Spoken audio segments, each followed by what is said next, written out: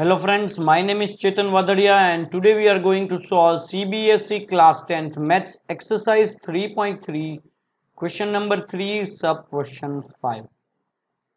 A fraction becomes 9 by 11 if 2 is added to both the numerator and the denominator. If 3 is added to both the numerator and the denominator, it becomes 5 by 6 find the fraction. So here guys they are telling if we add 2 to both numerator and denominator we will get 9 by 11 if we add 3 to both numerator and denominator we will get 5 by 6 so let us suppose suppose numerator is equals to x and denominator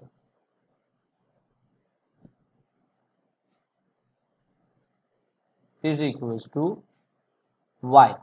Now fraction, what will be our fraction guys? Fraction will be equals to x by y. Now we, we are going to add 2 to both numerator and denominator. So x plus 2 by y plus 2 will give you 9 by 11. So we can form an equation out of this by just multiplying this 11 with this one by cross multiply you can say this we are going to take it here y plus 2 we are going to take here. So 11 into x plus 2 will be equals to 9 into y plus 2 so 11 into x 11x plus 22 is equals to 9 into y 9y plus 9 into 2 will give you 18 so take it on that side.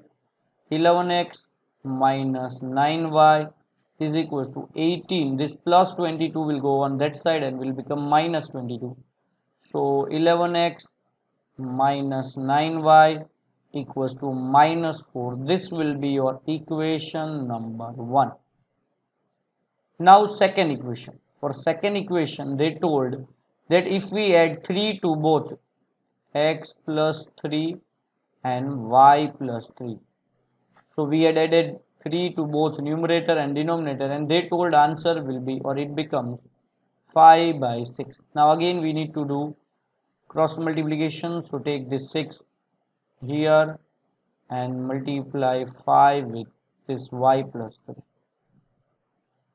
so here you will get 6x because 6 will multiply with both these terms 6 into 3 will give you 6 3 is 18 equals to 5 into y will give you 5y and 5 into 3 will give you 50 now take this on that side 6x minus 5y you will get and take this plus 18 on that side.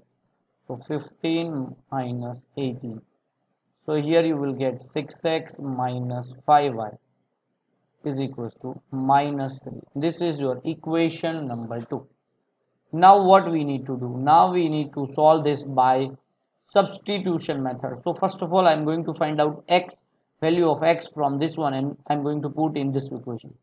So let us find out. So here 6x equals to minus 3 plus 5y or you can say x is equals to minus 3 plus 5y by 6 now I am going to put this value of x take it as result number. This is equation number 1 this is equation number 2 now this is result number 1 this is result number 1 or if you want to take you can give name 3 also okay? But I am giving 1 this is result number 1 now I am going to put this result number 1 in equation number 1 so let me keep 11 and on the place of x I am going to put this.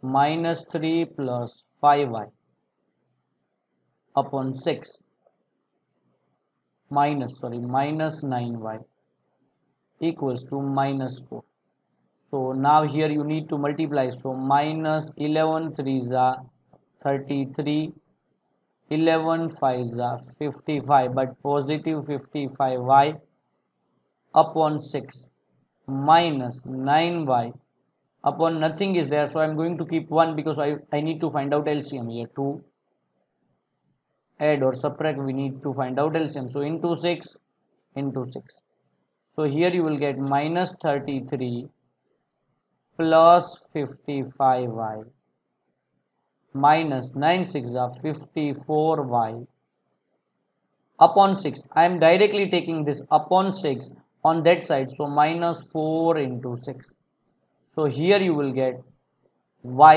positive y and 6 fours are minus 24 and take this minus 33 on that side that will become plus 33 so you will get y equals to if you will subtract 13 minus 4 9 so y will be equals to 9 so your denominator that is 9 let me write down here. Your denominator will be 9 now you need to find out numerator by putting that value in this one. So let us keep x is equals to minus 3 plus 5 into on the place of y I am going to keep 9 upon 6 so you will get minus 3 plus 9 5s are 45 by 6 so here you will get 42 by 6 so 6 1s are 6 7s are so your x is 7 so now your numerator is 7 and denominator. So you can say your fraction is 7 by 9 so this way guys you can solve this sum. Thank you so much for watching my video. If you like it please subscribe to my channel. Thank you so much